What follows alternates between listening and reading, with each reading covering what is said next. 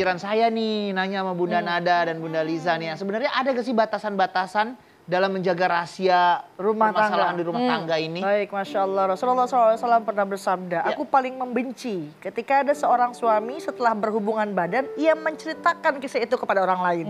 Pertama, jangan sampai kita mengumbar aib daripada pasangan kita. Baik itu fisiknya, baik itu jasmaninya, ya harus kita perhatikan. Yang namanya pasangan punya masa lalu yang kelam, ada juga masa lalu yang indah. Kekurangan itu bisa kita atasi dengan pernikahan.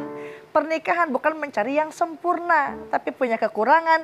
Kita satukan dalam pernikahan, maka insya Allah semuanya berjalan dengan lancar. Amin. ya Rabbal Alamin. Dan juga Bun, baginda Rasulullah SAW ini pernah mengatakan hinalah seseorang yang ketika malamnya dia melakukan kemaksiatan, kemudian dengan bangganya dia mengumbar aib-aibnya. Dan ini bukan hanya sekedar kekurangannya, dosanya yang ia lakukan pada malam hari kemudian dia bangga misalnya mengupload di sosial media. Nah itu adalah orang yang hina, bukan saja dosanya tapi juga ke- ketika melihat ada pasangan memiliki kehilafan, kesalahan, manusia al-insan mahalul khata' wan nisyan. Manusia itu kan tempatnya salah, Iya. tempatnya lupa. Jadi kalau pada hari itu melihat ada kehilafan dari pasangan kita, tutupi, jangan segera diumbar, tapi yakinlah insya Allah satu masa ketika kita menutupi aib pasangan kita, menutupi aib diri kita sendiri, insya Allah ini akan menjadikan rumah tangga kita rumah tangga yang terpelihara, insya Allah akan mendapatkan rahmat dari Allah Subhanahu Wa Taala. Amin ya rabbal alamin. Hati-hati juga yang suka Amin. posting di medsos. nih. Ah.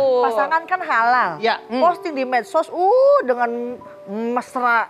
Apalagi sampai nauzubillah ada sesuatu yang nggak pantas diumbar. Haram, tapi bisa jadi haram karena terkontaminasi tidak pada tempat. Betul. Nah, Bunda, semoga tontonan hari ini bisa memberikan tuntunan buat kita semua. Amin. Amin. Semoga ilmu yang diberikan hari ini bisa bermanfaat juga ya Bunda ya. Bunda Lisa boleh pimpin doa buat kita Baik. sebelum closing ya. Bismillahirrahmanirrahim. Alhamdulillahi rabbil alamin.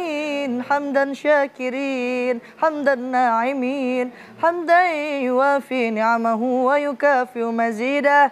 Ya Rabbana lakal hamdu kama yanbaghi li jalali wajhikal karim wa li azimi sultanik. Amin. Ya Allah, jadikanlah rumah tangga kami seperti rumah tangga Adam dan Hawa.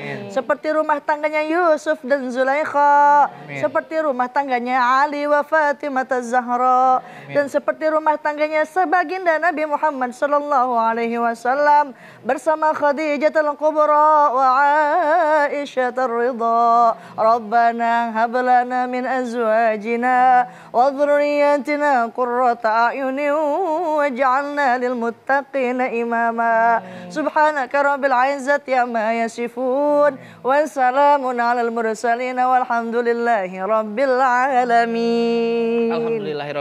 Terima kasih Bunda Liza, terima Amin, kasih Bunda. Nada, terima kasih Arohim. Ya. Terima kasih Bunda yang ada di studio dan terima kasih Bunda yang ada di rumah. Kalau Bunda mau nonton langsung ke studio kita, langsung aja DM di sini atau email di Assalamualaikum Bunda ini ya. Boleh juga kasih tema, kritik dan saran di sini. Insya Allah kita akan ketemu lagi Senin sampai Jumat jam 8 pagi. Jangan galau, jangan baper karena Islam itu Penuh penuh cinta. Wassalamualaikum warahmatullahi wabarakatuh.